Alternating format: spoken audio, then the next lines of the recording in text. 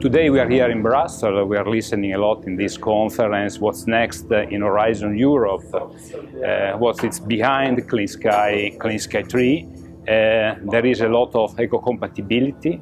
We are trying to, to plan the future to reach, uh, let me say, a very strong reduction in the CO2 emissions in order to meet uh, the Paris uh, requirement of COP21.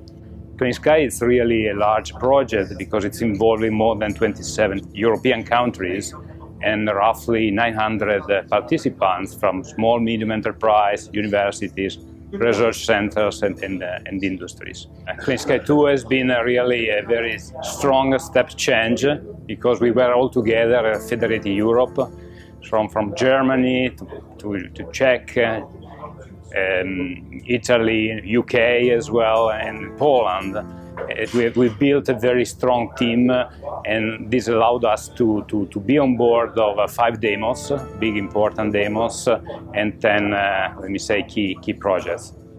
The Maestro project is important from the several perspectives. The first one is, of course, the technology development, which will be utilized in our future commercial products. But the other important aspect of the Maestro is as well the European collaboration between the different countries and different teams. Um, so, for example, for GE Aviation Czech, since the beginning, we were involved in the advanced compressor uh, technologies development in collaboration with our colleagues in Poland. Then, uh, for the production of the uh, the test vehicle for the advanced compressor technologies, and then with the testing in, in the Germany, in the Technical University in Munich, in collaboration with the GE entities in, in, in Germany.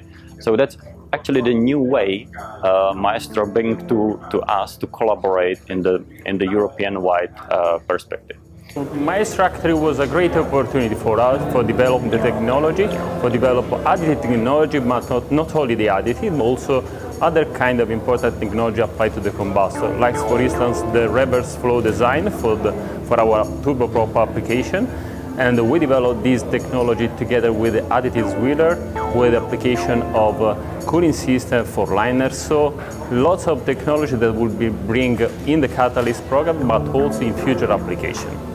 And moreover, it'll allow also to, to, to work with partners, with university partners, to perform tests to mature the technology, to mature future application of this technology with a test, with subcomponent test, and with uh, the most important that was the module test on the combustor.